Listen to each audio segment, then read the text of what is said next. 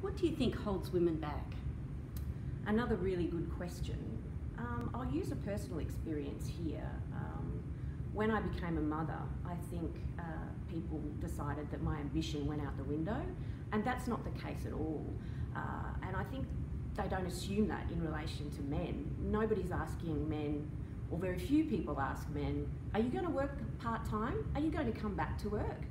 Um, and those kind of questions are put to women. So I think particularly when you become a parent, being really clear that I've become a parent and I have a family, but that doesn't mean my ambition has exited stage left. You have to be really clear about that still, unfortunately, because those stereotypes prevail.